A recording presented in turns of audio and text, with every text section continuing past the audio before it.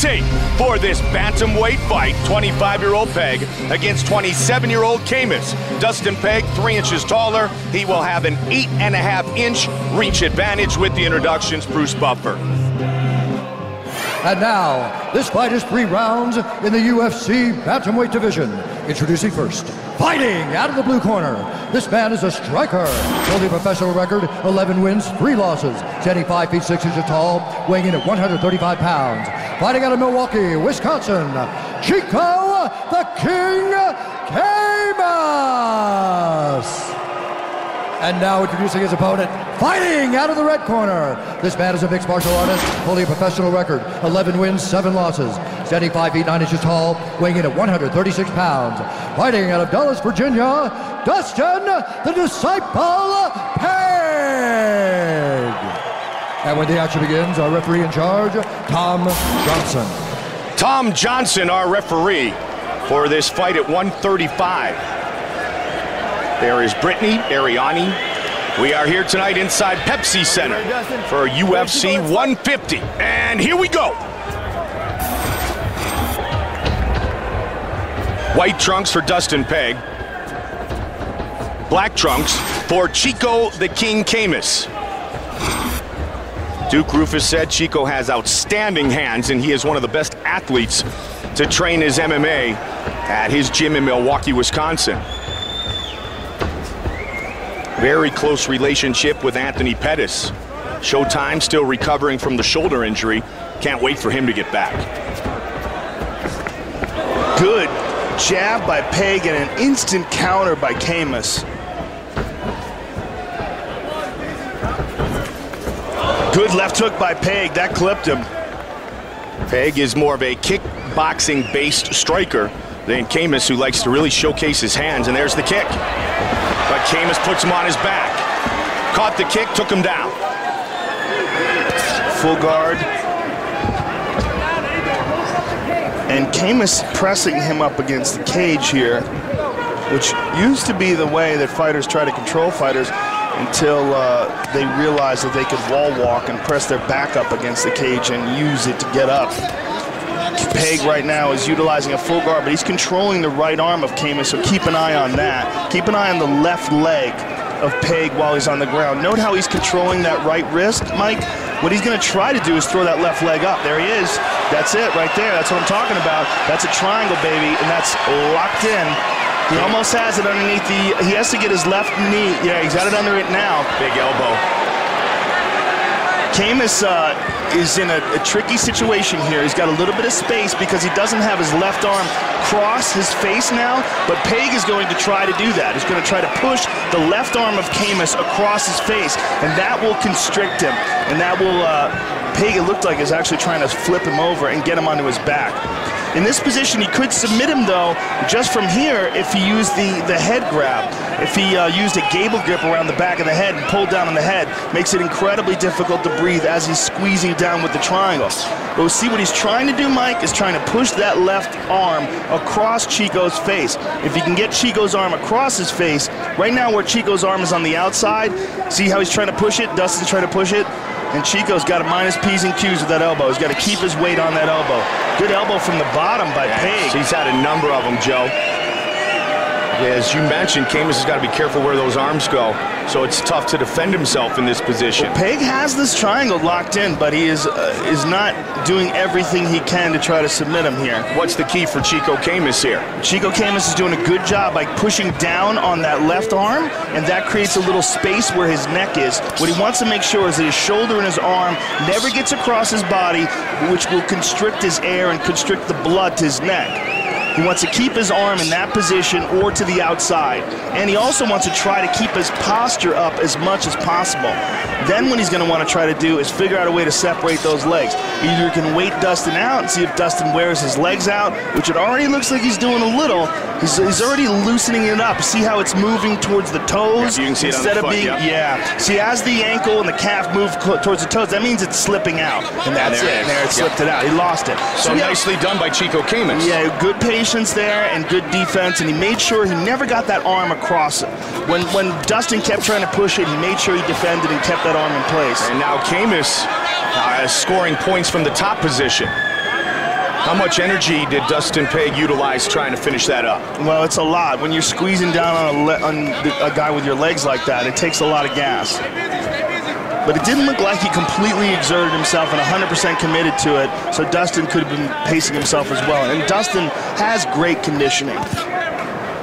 I'm just surprised he never gave a grip the back of the head and really tried to finish it there. There's a lot of guys who don't know that you can do that.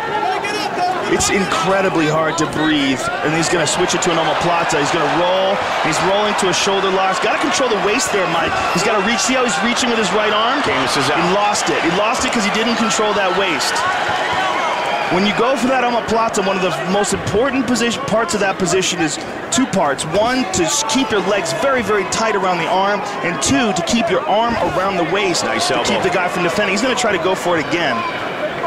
The cut on the forehead of Dustin Pague from some of the elbows from the top position by Chico Camus. Yeah, Dustin is underhooking uh, Chico's right arm. His arm might be caught, uh, uh, rather uh, left leg. His right arm may be caught here. Final seconds of round one.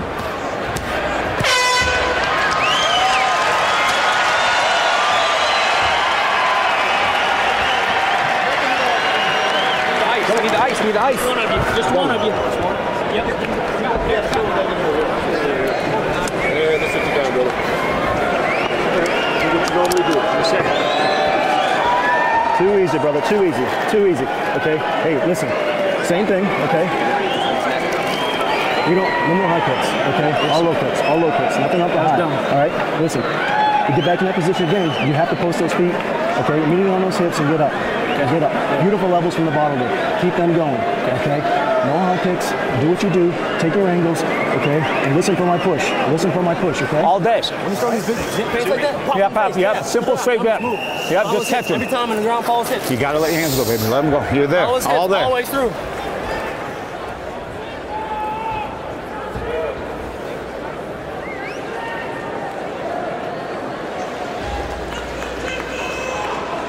Scott Cushman, Anthony and Sergio Pettis in the corner of Camus here tonight. Duke Roufus back in Milwaukee with his wife Tammy. They are expecting the birth of their daughter Lula Nesta Roufus any day now. So congratulations to Duke Roufus and his wife Tammy. Camus doing a nice job. Once he was able to get free, he did a nice job from the top, Joe, and then ended up outstriking Dustin Pague, who was throwing the elbows from the bottom. Down he goes, though. And now Pague takes a page out of Camus's book, catches the kick, and takes him down. While we're in commercial, Scott Cushman said to Chico Camus, open up with the right hand, and he did. But now he's on his back. And we'll see what kind of ground game Chico Camus has here. He defended well against the triangle, got back up to his feet very nicely. Now let's see if he can fight this fight in his realm. And he does with the quick jab. See if he can open up with the hands a little bit, not have to fight off submission attempts by Dustin Pague. And again with the one-two. He has excellent hand speed, Mike. Oh, big left hook. Ducked under, ended up on top, but he ate it on the way looking for that takedown. Good job by Chico getting him down here. On top in the half guard. Stepping over, trying to control that left arm. Anthony Pettis literally got Chico Camus off the streets years ago and said, hey, come on and let's train this MMA. About five years ago, Chico and Anthony very, very close. Born and raised in Milwaukee, in top position against the Pennsylvania native Dustin Pague.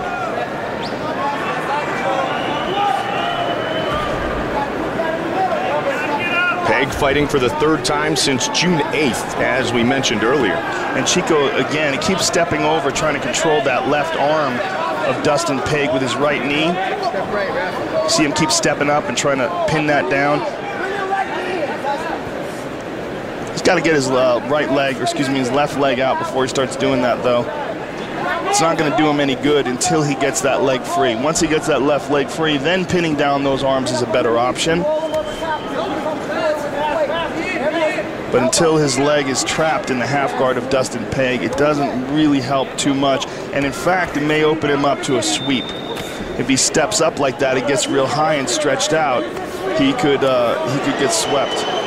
Good punches on the ground, though, by Chico Camus again. Chico Camus steps over in the half guard, or excuse- me, into side control. Very nicely done by Chico. Exactly what you were talking about, getting that left leg Yeah. free. Now this is a much better position for him. And now he's going to try to do the same thing.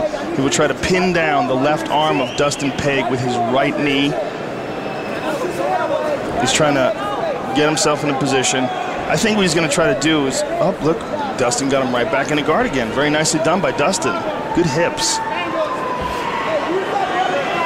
That was a big, a big screw up by Chico because Chico was advancing, was moving forward, and now Dustin has got him back into a defensive position.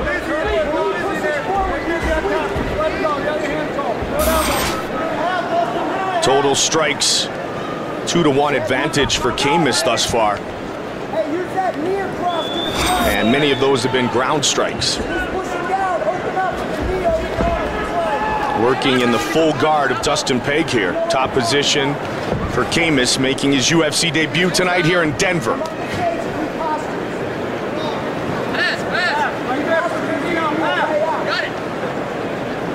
Pague trains in Dulles, Virginia.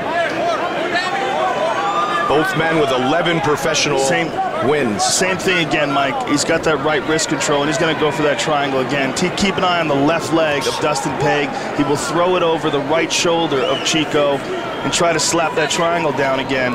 But this time, if he does it, he's got to pull the head. And I didn't hear that from his corner. They didn't advise. Good Nice elbow. elbow from the bottom. I didn't hear them advise that. But again, that's something that a lot of people don't realize. Once you have that triangle locked in, if you just leave it there, the, the guy can survive. If you pull the head, it makes it incredibly difficult for him to survive. Under 30 seconds now on the clock here in the second round. Chico's doing a real good job of ground and pound from the top, Mike. Yeah, he has had top position for the majority of the time here in round two. Briefly moved into half into side control, rather. That was his only time in a dominant position, but even in the guard, is very aggressive. Good knee to the body there. A lot of octagon control for Chico Camus here in the second.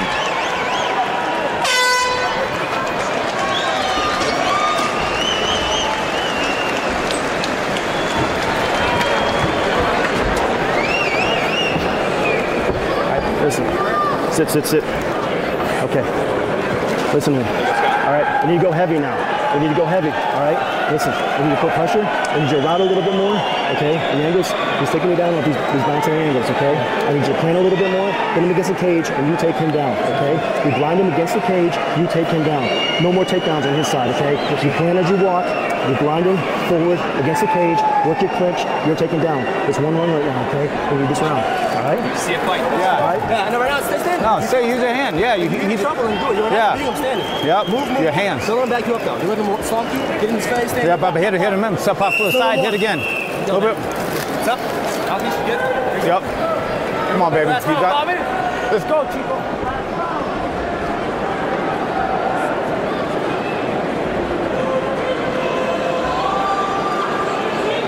Dustin Pague, Round, gentlemen. Let's fly. Chico Camus, third and final round. Quickly taking the center of the octagon is Pague, and he looks for the takedown. Yeah, he was listening to his corner. That's what they called for. And Dustin has his back. Chico's doing a real good job of trying to slide Dustin off the top, but Dustin isn't going for it. He's got full back mount now. Body lock, got that triangle locked in. Very nicely done. That didn't take any time at all. No, it did not. Not Chico's- good for Chico. Chico's doing the smart thing though, Mike. See how he rolled towards the side where the triangle's locked on? That put puts pressure on the ankle of Dustin Pague and keeps him from putting too much uh, too much pressure on Chico's abdomen with his triangle. Although I should say there is a submission from this position that I don't know. You don't know it. I don't know it. I have to learn it. It's called like the executioner or something. I like it. But I, I, I like when he holds down this, this body lock, if he can just uh, switch sides and put it onto the, the, the other leg, put his right knee, or right foot rather, under his left knee, he can uh, put more pressure. Because right now Chico's, he's even though he's trapped in the back mount, he's not in pain here. Now Dustin can apply some pressure. Now that Chico rolled over onto his left side, there he goes. Now, now, and see immediately Chico rolls him back over there. Chico's very wise. He's doing the right thing. But see how he's trying to turn? He can't turn. Once that's locked in, it makes it very difficult for an opponent to turn into you and wind up in your guard. That is the purpose of the body triangle. When you mount a guy, though, if you flatten him out and you get on top of him, then that body lock, that triangle actually can become a submission. Ivan Salaverry. Yes. On Tony Fryklund years ago. It is incredibly painful. It's like a spine submission. Look at that. Spinning. Nicely Even done. inside. And that's he took advantage of a little gap in the triangle of Dustin Pague. Chico's very explosive. And that's something, Joe, you always talk about the danger in that position as your opponent can turn and end up in top position here, which is exactly what Camus did. Yeah, you have to do two things when you're doing that. One, you have to have a very strong over-under control. You never let go of that over-under no matter what. And you have to fight for the submission from there. There's a big difference between no gi jiu-jitsu and jiu-jitsu with the gi.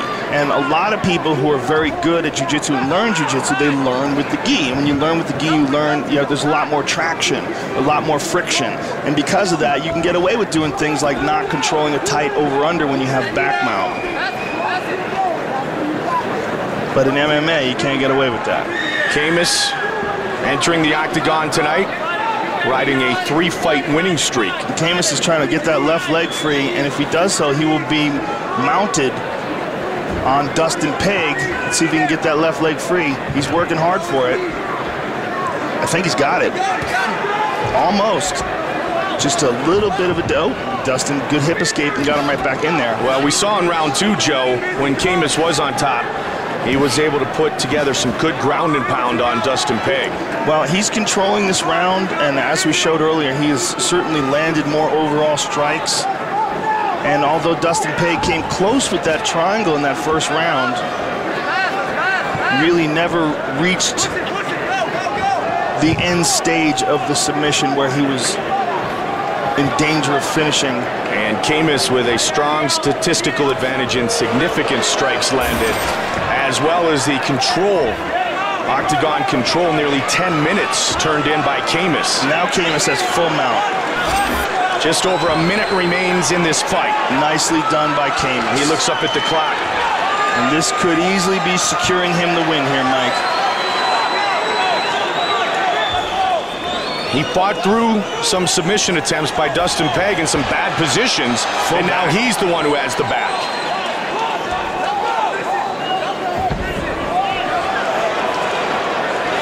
He's trying to get that right arm under the chin of Dustin Pague. Still has more than 30 seconds to finish. He would love to get a finish here in his UFC debut. He'll take a victory, but he would love a finish. 20 seconds now. It'll be hard for Pague to get out of this position, Joe. He's got it under the chin. Locking up. has got it. It's a one-arm rear naked. He's got it, Mike. Dustin's hanging on. Final seconds of the fight. He went after the finish. Instead, they go the distance. Great fight and great job by Chico Camus. Excellent UFC debut. Joe, take a look at our fight replay.